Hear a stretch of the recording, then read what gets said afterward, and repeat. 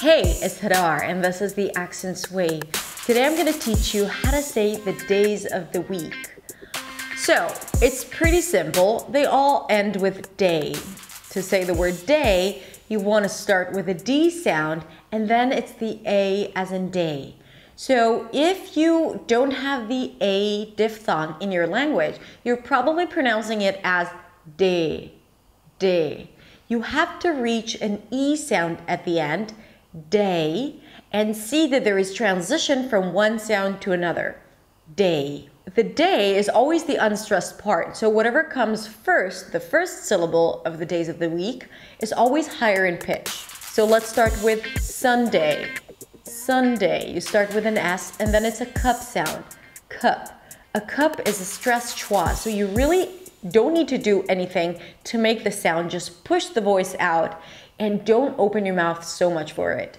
Cup, sun, Sunday, Sunday. The next word is Monday. Although there is an O, it's not an O, Monday, but mon, like month, like cup, like sun. A stress schwa, a cup sound, the tongue is pushed forward, the lips are relaxed completely, don't round them. Mon, mon. Monday. Then we have Tuesday. Here, just think of saying the word two, two. You can also say Tuesday, but I recommend using two, two. It's more contemporary. Two.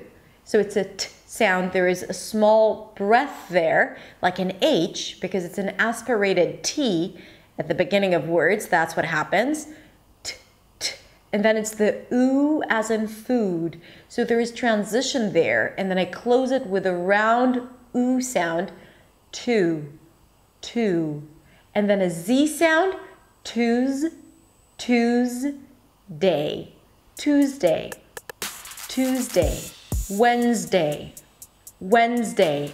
It is not Wednesday, but when, as in when was the party, a z sound again, and day. Wednesday.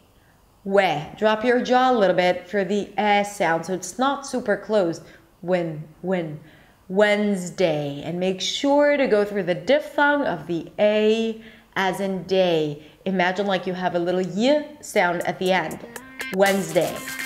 Thursday is always a tricky word for non-native speakers because you have the th sound and the r and all of it in one word.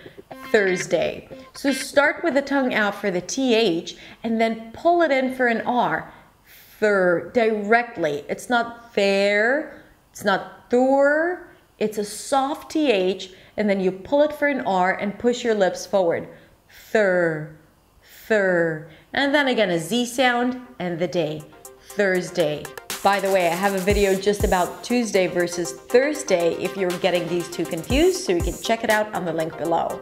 Friday. Here it's an F sound that is moving directly for an R. So my tip here would be to bring the tip of the tongue up for the R.